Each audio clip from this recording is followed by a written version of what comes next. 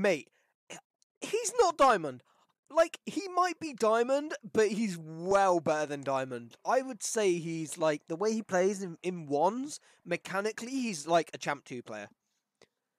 Like, I, he's got really good awareness. Uh, yeah, there's no way he's a diamond. Or if he's diamond, he shouldn't be there.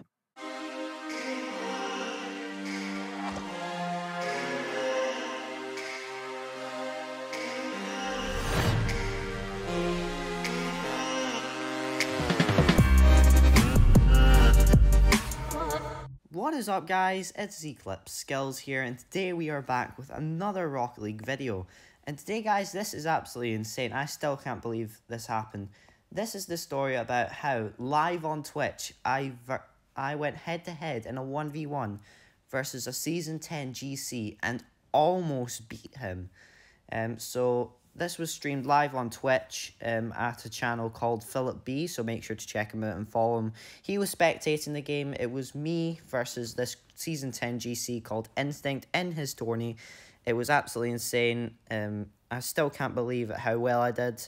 And um, yeah, this is how it went. This is by far my best 1v1 game. And uh, yeah, hopefully you guys enjoy. So the game starts off with not really anything happening for a bit, but then I managed to get a solid dribble and a solid flick to secure the first goal of the game, which is really good start for me, and um, my confidence is pretty high at this point. Unfortunately though, he gets a really solid kickoff and he ends up getting a kickoff goal, squaring up the game back to 1-1, which is unfortunate, but hey, it's early days and um, it's not really anything. Um, so on this kickoff, he ends up winning it again, but it goes over to my corner, which gives me time to get the corner boost and set up an attack. But surprise, surprise, he's right there in the corner, and um, he's put, applying the pressure. And this catches me off guard, so he ends up getting another goal. So here on this kickoff, I didn't really think anything was going to happen.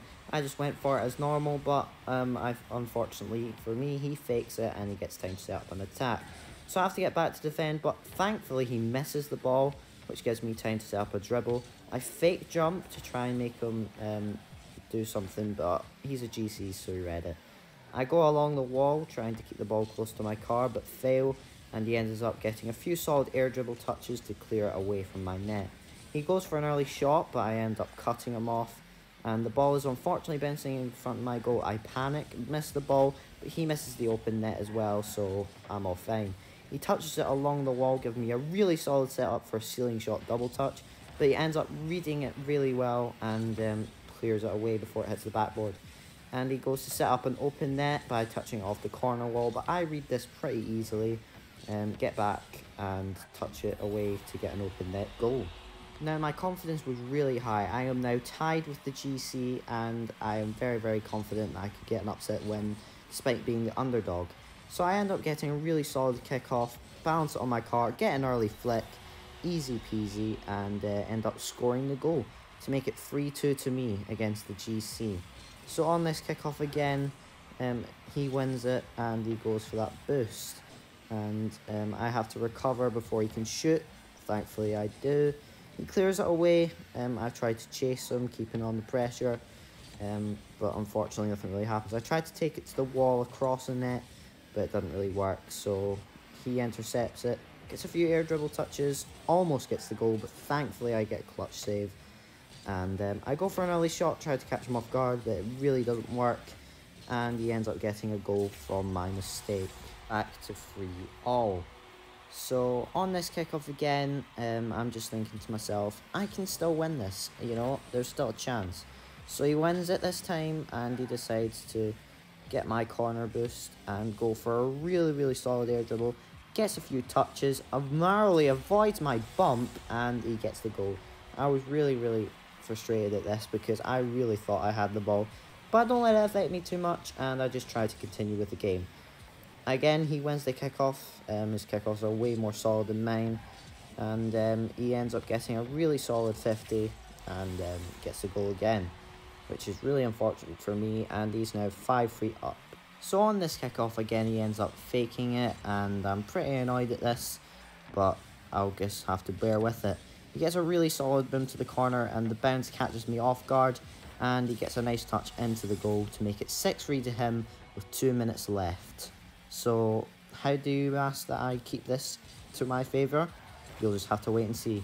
So he gets a really solid kickoff again and decides not to go for the open net and decides to go in freestyle. He tries a ceiling pinch but fails and now I'm in a really good spot here.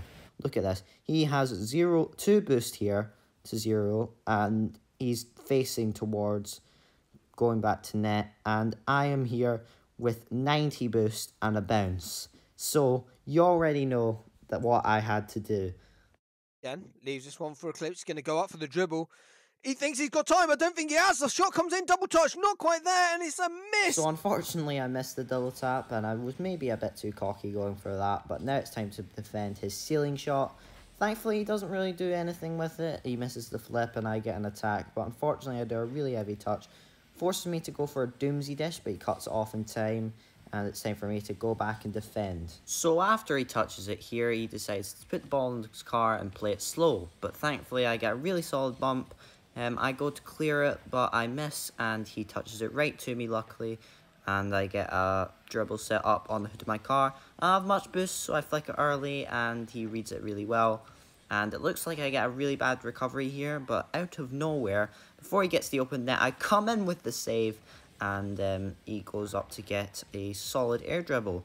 But um, thankfully for him, he sort of messes it up and I get another save, um, keeping the game not too far out of reach before the clock gets out. So I put it on top of my car this time and I decided to go round him with a fake, but um, unfortunately he reads it and he decides to go up for a ceiling shot and he goes for the musty flick after that but thankfully it's not too threatening and I can clear a way to set up another attack.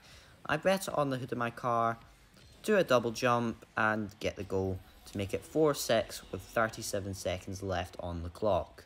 So here I am, 6-4 down with 37 seconds to go. I really need a good kickoff here, but unfortunately um, it doesn't really go too well for me. He ends up getting a really solid bounce and he does this. That was insane. I did not see it coming. That was literally the best shot of the game. Um, it was so good, so powerful, and um, 7-4 down with 27 seconds to go. So as per usual, he wins the kickoff here, and he doesn't go for the ball, which gives me time to set up an attack. So I bounce it once here, take the shot, and unfortunately for him, it bounces off the crossbar and hits his car while he was trying to save it. So here it is, 5-7 with 16 seconds left and um, this is what happens. I get a really, really solid kickoff here, thankfully, and I end up getting a kickoff goal, and I, I'm, I'm just so happy right here. I'm ready to win this game. I'm ready to get the upset win, and my, my confidence is just so, so high now. I know I could win this. Since uh, Epic Skills, sorry, has to make a move. He's got to try for this dribble. He's been doing it all game. Hang on a minute.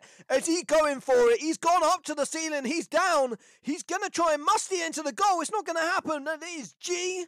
G. If he'd pulled that off, that would have been the comeback of the match. Well, the whole. Out of everything. It would have been insane. Well played, man. So, yeah, after risking it all with a ceiling shot musty flick, I unfortunately get beaten 7 to 6 by the Season 10 GC.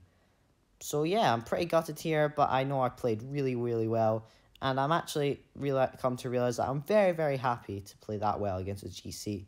So that's the end of the video. I hope you guys enjoyed it. Make sure to go follow Philip B on Twitch and make sure to watch back the video from his perspective or check out his future streams. Um, hope you enjoyed it. I'll see you all later and have a great day.